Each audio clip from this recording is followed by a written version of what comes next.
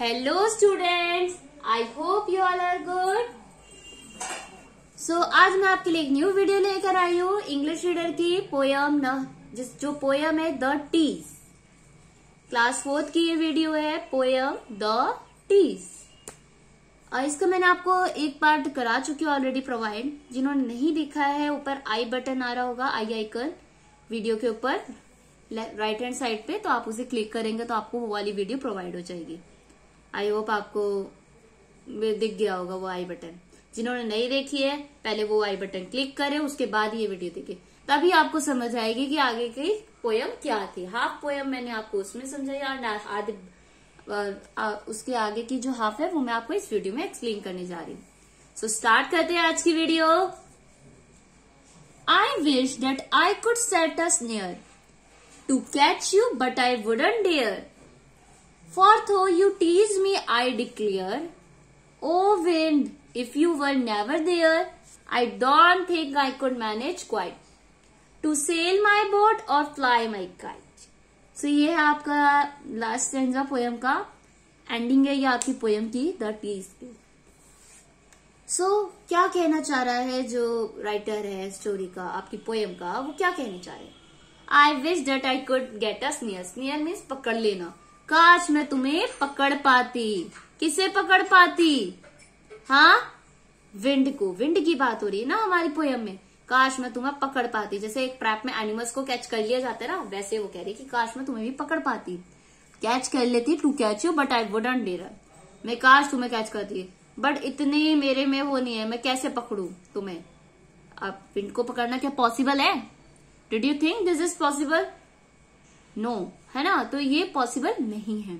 Forth ho you tease me I declare वो कह रही है मैं आगे क्लियर कर देती हूँ कि तुम मुझे टीज कर रही हो। ये बात सच है कि मुझे परेशान किया कर रहे हो। O wind if you were never there अगर विंड से बोल रही ओ विंड अगर तुम यहाँ पे नहीं होती तो I don't think I could manage quite मुझे नहीं लगता कि मैं मैनेज कर पाती। To sail my boat or fly my kite मतलब एट द एंड आपकी जो पोयम में राइटर है, वो कह रही है, अगर विंड नहीं होती तो मैं क्या नहीं कर पाती? काइट फ्लाई नहीं कर पाती बोट नहीं सेल कर पाती बोट नहीं चला पाती.